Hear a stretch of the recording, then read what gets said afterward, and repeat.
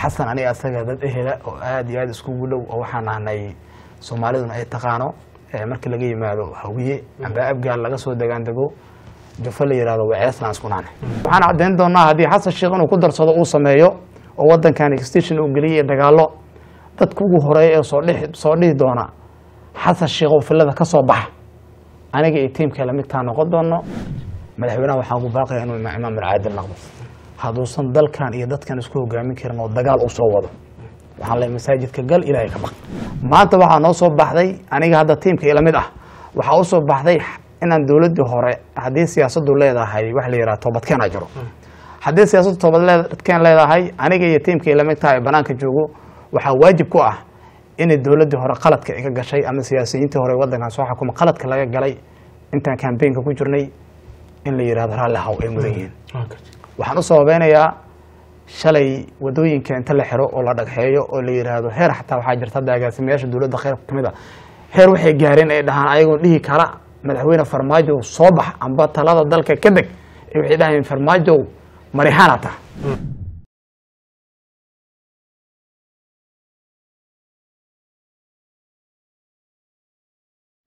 bismi illaahi raxmaan raxiim kulanti wacan oo wanaagsan idilkiiba meel kastoo aad joogtaan iyo si kastoo aad inoo daawanaysaan ku soo dhawaada barnaamijka diiradda shabeelle barnaamijka waxaynu diiradda ku saari doonaa arrimaha doorashooyinka damaca dowladda federaalka ee ah in dalka ay ka qabato doorasho qof iyo cod iyadoo siyaasiyiinta mucaaradka ay ku eedeynayaan in dowladdu ay dooneyso in ay samaysato muddo kororsi.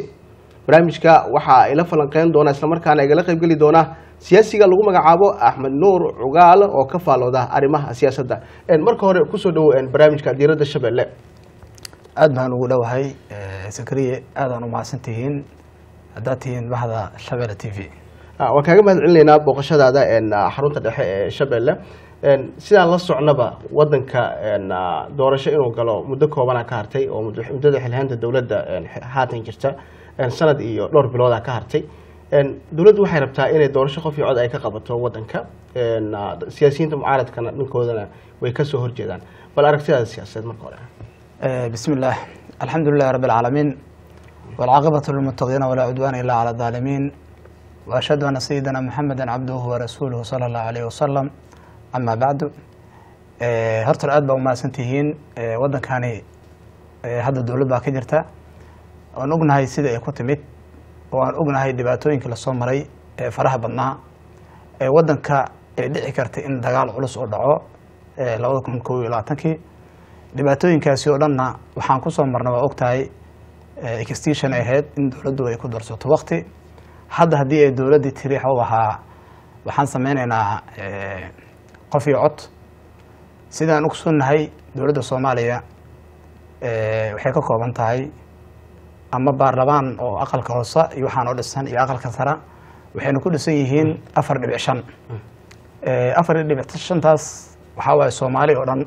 Soomaali iyadaa ku heshiisay soomaali oo heshiisa hadda dowladdu jirto halheeskeeda waxaa ka mid ahaa ee ku soo gashay doorashooyinka. Haddana ay sheegtaa soomaali heshiisa dunida la heshiis ah. Marka waxaa meesha ka baxayso soomaali heshiisa dunida la heshiis ah.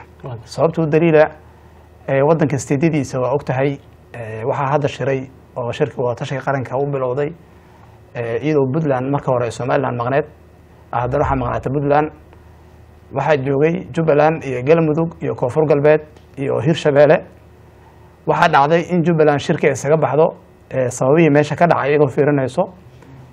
Waxaa go'aan gaara marka galmudug iyo hirshabeelle iyo koonfur galbeed. Iyadoon ogsoonnahay wixii ka dhacay labada kun labaatan iyo saddexdii bishii january dagaaladii ka dhacay koonfur galbeed gaar ahaan magaalada baydhabo oo ahayd iyadoo mandateku u dhammaaday hirshabeelle nimanka la yidhaha koonfur galbeed cafwan koonfur galbeed waxaa ka dhacday dagaala ka dhacay oo siyaasiyiinta ku hardamay oo siyaasadda u socday. Waxaa lagu heshiiyey in hal sana loogu daro sanad kale loogu sii daray hadda sidaan ognahay axmed madoobe wuu diiday.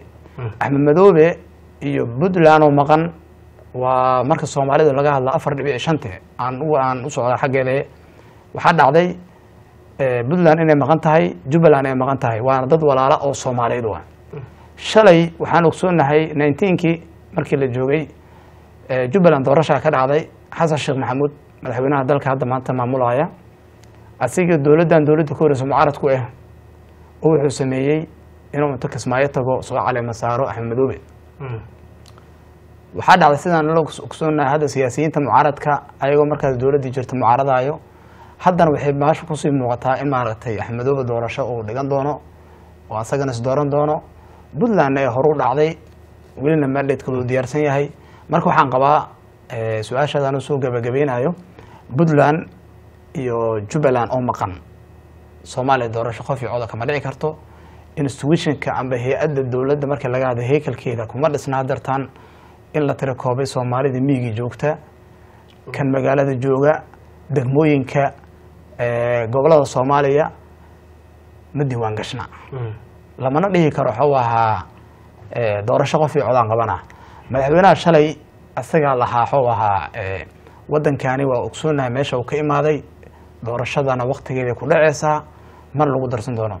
Laakiin aniga waxaan tacbiirin karaa oo aan aaminsanah madaxweynaha hadda waddanka jooga eh, waxyaabihii shalay aan ku dooranay oo aan dhahnay mudan madaxweyne nagu hogaami. Oon waddooyinkaan u taagneyn oon madaxweynihii asaga ka horeeyey anaga qabiilkuma nicin laakiin wixii soomaali ku heshiisay ayuu mara habaabiyey waa reed maray dagaalaan galnay buuqaan galnay banaanbaxyo badan aan sameynay isku soo baxyo badan aan sameynay. Madaxweynaha taas duu cashir ka qaada waayey madaxweynaha wuxuu la mid yahay qof garoon banooni galay ee qofka banaanka jooga uu ka xamaasad badan yahay laakiin markuu qofka garoonka ku jiro uusan fahmi karin ciyaarta nuucay tahay marka madaxweynaha waa qofka keliya fahmi kara markuu madaxtooyada ka maqan yahay villa soomaaliya uu banaanka taagan yahay oo jobless iyo baamuddo yahay madaxweynaha markaas keliya wuxuu fahmi karaa dowladda qaladkeeda. Waaba hadda nin aan qaladka soo jeedin. Waa ninka shalay lahaay qabiilka iyo qaranka waa wada socon karaan. Maantana wuxuu la soo baxay qabiilka waa uf. Soo laabanaynaa taas waxaan kaa rabaa ah, madaxweynaha xilligii farmaajo uu wadankan madaxweynaha ka ahaa. Ah, doorasho qof iyo cod dowladdii hore inay qabato wuxuu u arkayey in dowladdaas ay doonaysa in muddada ay ku kororsato. Hadda taagan maxay ku noqonaysaa wallaahi tan hadda taagan eh, waxaysan qaban karin dowladda madax- eh, madaxweynaha waxaa aaminsannahay horta waddanka waxbuu ka qabtay oo xagga amniga marka laga hadlo amba xagga isteedyada dagaalada ka socday marka laga hadlo. Anagoo og madaxweynaha inuu wax qabtay aan ognahay kuna taageerayno shalana aan ogeyn inuu yahay nin aqoon-yahana nin soomaali isku xiri kara. Anagoo og oo banaanka u taagan ee dowladda hore dheheena ka bax meesha. Waxaa qabata ma jirto wadanka waa ku khasaarta waa waa khasaarisay heer waxaa gaartay etoobiyana gacanta u rabtid iyo cadowga kale soomaaliya leedahay. Maanta waxaa noo soo baxday aniga hadda tiimka ila mid ah. Waxaa u soo baxday inaan dowladdii hore haddii siyaasaddu leedahay wax la yidhaha toobadkeenaa jiro. Haddii siyaasaddu toobadkeen leedahay aniga iyo tiimka ila mid tahay ee banaanka joogo waxaa waajib ku ah inay dowladdii hore qaladka iga gashay ama siyaasiyiintii hore waddankan soo xukuma qaladka laga galay intaan kambeynka ku jirnay in la yidhahdo raalli haw ay mudan yihiin. Waxaan u sababeynayaa shalay waddooyinka inta la xiro oo la dhagxeeyo oo la yidhaahdo heer xataa waxaa jirta hadda agaasimayaasha dowladda kheyr ka mid a heer waxay gaareen ay dhahaan ayagoo dhihi kara madaxweyne farmaajow soo bax amba talada dalka ka deg ee waxay dhahayeen farmaajow marixaana tah anaga marka waxaan caddayn doonaa haddii xasan sheekh inuu ku darsado uu sameeyo oo wadankan extension uu geliyay dagaallo dadka ugu horreeya ee soo dhihi doona xasan sheekhow filada ka soo baxa. Aniga iyo tiimka lamidtaa noqon doono. Insha allahu tacaala anigana hadda xasan sheekh dad waa u xiga horta haddaan kaftanno soomaalidu qabiilka kama maarantee xasan aniga asaga dad ehela oo aad iyo aad iskugu dhow oo waxaan nahnay soomaaliduna ay taqaano. Markii laga yimaado hawiye amba abgaal laga soo degaandego jufo la yihahdo waceeslaan isku nahnay xasan hadduu cadaalad yahay oo soomaali inuu hogaaminayo shalay aan maaragtay u soo dooranay horta soomaali waxaan u caddaynayaa madaxweyne xasan sheikh waa nin aqoon-yahana maadi iyo diin leh da ah oo nin oday ah. Laakiin qabiilka uu ka dhashtay qofka markuu cadaalad yahay amba loo sameynayo astaanta dhaqanka loo fiirinayo ama nabadoonnimada loo fiirinayo madaxweynuhu waxaa waaye waxaan ka rabnay inuu dadku cadaalad falo aniga madaxweyne xasan sheekh waxaan rabay haddaan mar jaan isku helo inaan dhaho teeramkaaga horo ayaad soomaali wax u qabo ilaah wuxuu qadarinaa mar labaad madaxweyne noqoto mulkigan ilaaha bixiya qabiilaadka aad ka dhalatay ee waceesle ee dulman. Waceesle horta wuxuu u dhashtay afar oday u dhashtay. Eh, soomaali caawa meel hanoo taalo waxyar waa ka hadlay meel hanoo taalo.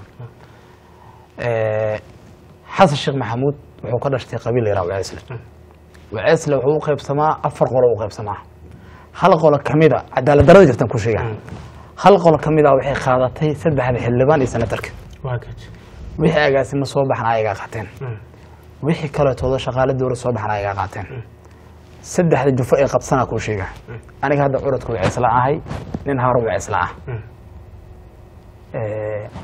soomaalidu markay mararka qaar meelaha ugu arkaan waxay leeyihiin hay wiilka madaxtooyada ee eedadiis joogto adeerkiisna u joogo war waxaan dhahaa war ilaahay ka baqa aniga nin maaragtay oo magaalada dhinaciisa ka xamaashta ahay oo bariiskiisa ka raadsada dowladdaana dowlad aan cadaalad ahayn waan dhahaa.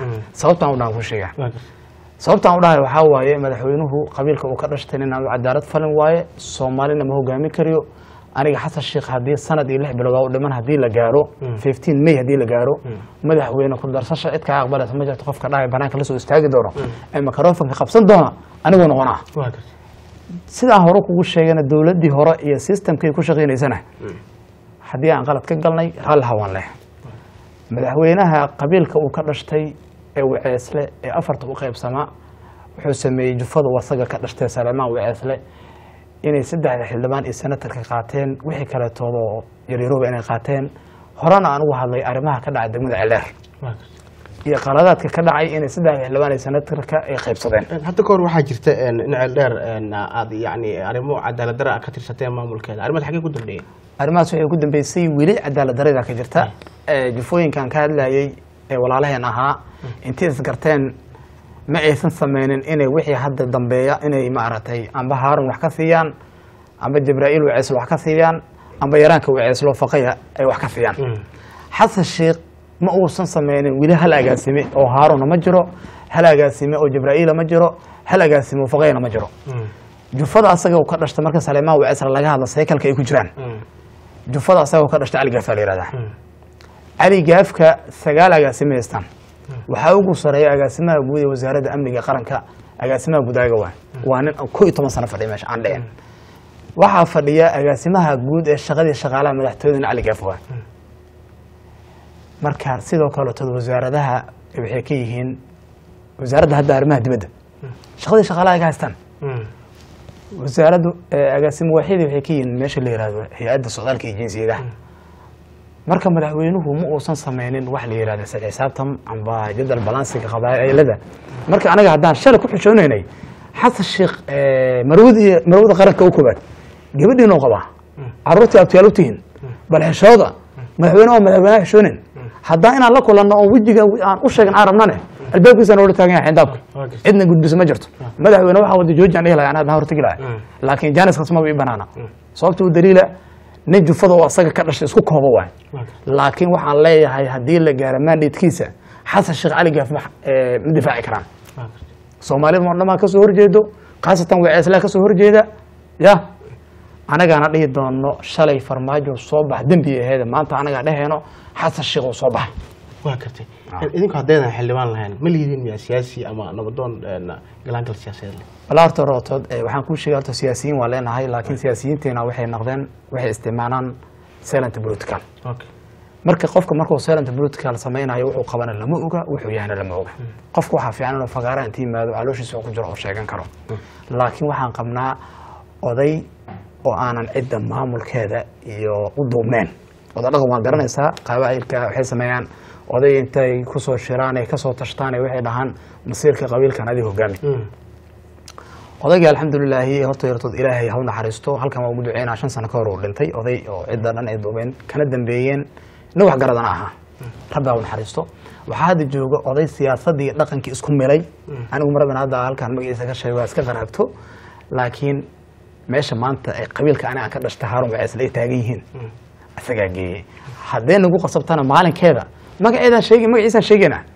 Waa ninka intuu fila soomaaliya taga abtiga hala keena inta yidhaha buxuu raba sarifan karo. Meeshuu raba la tegi karo. Heer wuxuu gaaray caruurtiisa inay muqdisho qaarkood joogeen qaar ka joogeen oo dowladda geliyey xafiisyada ay ka shaqeeyaan. Qaar kale toodna oo maraykan geysta taasaa jirta. Waxaan se kuu sheegaa haddii ay dhacdo magaciisa waa sheegi doonaa hadduu waxyaabaha uu jooji waayo dhaqanka iyo siyaasadda in la kala saaraa fiican. Xildhibaanka hadda federaalka ku matala qabiilkan ka dhashta horta sidii loo maleynaya maaha. Aniga anoo kooxda nabad inoola ka tirsanayn kooxdii horo ayagoo wataanay keeneen galmudug waa la geeyey kursigiisaa loo xiray aniga dadku soo sacabtumaan ka mid ah. Waxaa saas u yeelayan waxay egeed aniga shaksiyadiisan taageersanay maahane mabda u asaga taageersan ma taageersaneen. Ani mabdagii waa caddahay nabad inoola waxaa ahaa u b d aan ka tirsanay xafiiska mirnaayan ku qornaay ilaah kuma sama diiday ninkaas nin odaya oon shaax isla cabno magaalada isla joogno wada sheekeen oo dhalinyara u ahaa. Warna waan isbeddel doona ahay odayaashaan wax badan qabqablayaasha ahay iyo xildhibaanada midowga taagnaa jiray inaan bedelo oon wij cusub la soo baxaan rabaa u dhahay. Waxaan ka mid ahay raggii la soo kaambeengeleeyey ee qod ka soo doortay. Xildhibaanka wuxuu noqday nin qalinkiisa caligaaf kaliya qoraayo ee aanan qorin walaalahin jibraa'iil oo kursiga wax kale qalinkiisa ma qoro haarun waceslaan aan ka dhashtay. Oo curadka waceslaan ah ma aysan dhicin inuu hal qof ka mid a shaqeegeeyo waxaan rajeynaa insha allahu tacala inuu aqliga shaqeeyo. Labada kun labaatan iyo lixdan haddii la gaaro inaan ergooyinkana simano. Inaan maaragtay doorashada aan geli karno xildhibaanada siyaasadaan hami ka leenahay haddaan nool nahay dalkii dadka waxu soo baranay in fursadna la siiyato waa rajeynaa xasanna uu naga dhaafo labada kun toban iyo labadii markaa asaga la soo dooranaya dhibaatada uu nagu sameeyey oo ilaa hadda labada kun labaatan afarta socoto inuu naga dhaafo oo kursiga hal beel loo xiraayo naga dhaafo. Waxaan kaloo fursadaada ugu faa'iideysanaa. Dowladda hadda jirto oo madaxweyne xasan sheekh uu hogaaminayo horta hore cadaaladda way ka lunta. Maalinta qiyaamahane carshiga ilaahay dadka hirgeli doona. Waxaa noola sheegay imaamul caadil inuu ka mid yahay madaxweynaha waxaan ugu baaqaya inuu imaamul caadil noqdo. Hadduusan dalkan iyo dadkan isku hogaamin karin oo dagaal u soo wado waxaan leeyahay masaajidka gal ilaahay ka baq dagaal wax laguma keeni karo. Soomaali heshiisa dunida la heshiisa. Madaxweynaha waa u haynaa ereygaas waanu ku mahadsan yahay laakiin anu u nasteexeenay madaxweynaha. Oo ehel i yah waxaan jeclaan lahay madaxweynaha inuu maaragtay qabaa'ilada dulman. Soomaali ka sukow gaar ahaan waceesle inuu maaragtay habeen walba waxaa dhici karta in qof ilaahay subxaana watacaala ku xiran. Inuu ilaahay tugu yiro ilaw madaxweynaha naga leeh hadli karin gurigiisu ku jiro. Marka madaxweynaha waxaan ugu baaqaa inuu cadaalad ka shaqeeyo. Haddii la gaaro labada kun lix iyo labaatankana sidii sixteenka dhacday dhicin. Sixteenka waxaa dhacdaan kuu sheegaa jufada cali gaaf kursiga waxaa la leh haarun wacasri jibraa'iil madaxweynaha isagaa dhahay konton iyo kow erge ayaa soo dooranayso. Xildhibaanka konton iyo kowgii erge waxaa dhacday in toddoba erge la siiyo haarun wacasle toddobana la siiyo jibraa'iil wacasle soddon iyo toddoba ergena cali gaaf qaataan marka nin soddon iyo toddoba erge qaatay ma lala tartami karaa? Ya. Aniga waxaan dhihi lahay madaxweynaha cadaalada soo samaynayo oo dadkiisu cadaalad falayo. Gurigiisa ka bilaabo. Su'aashaan ku weydiinaya waxay tahay haddaan dib ugu laabanno arrimaha doorashooyinka ma is leedahay gobollada dalka soomaaliya ama deegaanada soomaalida waxaa jira deegaan sanduuq inta la dhiga dadka intay yimaadaan codeyn karaan. Ma jirto. Waxayna ka dhici karin xataa deegaanada gobollada iska daaya caasimadaysan ka dhici karin muqdisho. Maanta lama awoodo in laba boqol oo qofood inta meel laiskugu keeno amnigooda la sugaa la yidhaahdo guryahoodana naawad ugu laaban kara. Ma jirto. Sometimes waxaa dhacdaa maxaa xafiisyada dowladda ku dhigay maxaa xafiisyada dowladda ugu daba wareegtaa meelaha qaar? Dhibaatooyin badanaa ka jira. Laakiin shacbiga waa la jifaan madaxweynuhu taas ma samayn kariyo soomaaliya markay nabad noqoto weliba xataa waxaan ku sheegaa. Madaxweyne xasan sheekh haddii maandheedkiisa dhammaado madaxweynaha kale imaan doona dalkan horta tanadaa loo laabanaa. Qof cod ma jirayso wadankan jabtarsamana lagu xukumaa xaggaa loo laabanaa. Soomaalidu heshiisa markay imaan doontane. Madaxweynaha madaxweynaha ka dambeeyana ma samayn kariyo qof cod kan ku xigan ma samayn kariyo. Sababtuu daliila xasan sheekh madaxweynihii ka horreeyey aa ku garooba xasanna uma diiwaan gashno. Hadda hal degmo xataa dadkeeda u diiwaan gashiina kuma jirto. Labaatanka degmo gobolka banaadir. Gobolka banaadir ma haysta maqaamka gobolka banaadir. Dhibaatadii wadankan ka dhacday inta ugu badan muqdisho ka dhacday hadday dhimashata hadday dhaawacta hadday hanti burbursataa muqdisho ka dhacda muqdisho dadka jooga waxaa u dheer canshuur waxaa u dheer oo dhan walba ah. Ma qabaan canshuur lagama qaado shabeellada dhex lagama qaado. Shabeellada hoose lagama qaado. Muqdisho wax u gaara waa. Reer muqdisho marka ma waxay dhahayaan iyadoo maaragtay maqaam aysan helin ee sidii isteedyada soomaaliya ka jira shantii isteed aysan ku xuquuq noqon doorashan ku bilaaba ma dhihi kariya ma dhihi kari juun ay ku bilaabanaya u yiri laakiin ma dhici karto. Sababtoo daliila ma diiwaan gashnaa dadku ma diiwaan gashnaa inta caafimaad qabta inta maarata codayn karta inta sakiira inta qaangaara ma diiwaan gashna.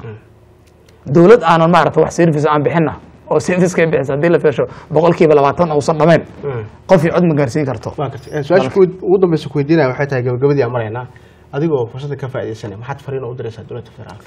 Dowladda federaalka waxaan u dirayaa shalay madaxweynaha wuxuu dhahay soomaaliya heshiisa dunuun la heshiisa madaxweynaha waxaan dhihi lahay mudan madaxweyne. Soomaalida nin odayaa tahay nin nabadoonaa tahay adoon kala dirin soomaalida isku keen jubbaland iyo puntland dad walaalaa waaye oo maarata baarlamaanka federaalka aqalka hoose iyo aqalka sare ka tirsan wasiiradaha wasaaradahan wax ku leh mas'uuliyiin ah dad nabadda jecel ah dadkaas soo celi walaalahan waaye waa inaad keentaa. Markaa keenta kadibna anigan waxaan diyar u nahay madaxweynaha qaladkuu samey inaan ka raali gelino. Oo median soo istaagno u tagno oo maalinkaa rabna u dhoofi karno garoobe maalinkaa rabna aan kasmaayo tegi karno o dhihi karno gogol nabadeedaan ka wadnaaye walaalayaal raalli naqda. Hadduu madaxweynaha noo noo xil saarto waa u tegaynaa aad baad umahadsan tahay kaasina waxa uu ahaa siyaasiga lagu magacaabo axmed nuur cugaal oo ka faallooda arrimaha siyaasadda oo igala qaybgelayay barnaamijka diiradda shabeelle guud ahaana barnaamijkeena intaas ayaan ku soo gabagabeynayaa aad baad umahadsan tahay adigaa mudan. Tan intaan dib ugu kulmi doono barnaamijka la mid ah nabaadi